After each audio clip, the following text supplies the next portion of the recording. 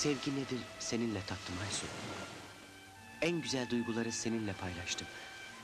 Sarıl bana. Sen de sarıl. Yoksa mutluluktan kollarının arasından uçabilirim.